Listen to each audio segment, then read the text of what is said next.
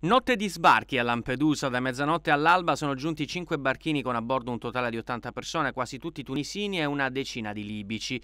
Ieri in meno di 12 ore si erano registrati altri quattro approdi di 44 tunisini. Anche i cinque gruppetti arrivati nelle ultime ore sono stati portati all'hotspot di Contrada Ambriacola, dove si è arrivati a poco meno di circa 320 presenze a fronte di una disponibilità massima di 192 posti. A Lampedusa, fra l'altro, è andato a fuoco un furgone della Nova Facility City, la società trevigiana che gestisce l'hotspot. Il mezzo serve proprio a trasferire i migranti dal porto al centro di Contrada Ambriacola. L'intervento tempestivo dei vigili del fuoco ha evitato che il rogo si propagasse ai rimorchi posteggiati vicino al furgone.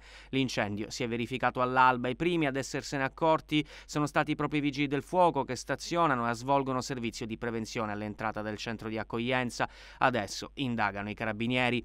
La tendopoli per ospitare i migranti in quarantena che il governo nazionale intende realizzare realizzare nell'ex deposito dell'aeronautica militare di Vizzini nel Catanese è stata al centro dell'incontro di ieri tra i sindaci del Calatino e il presidente della regione siciliana Nello Musumeci, alla presenza anche dell'assessore alla salute Ruggero Razza.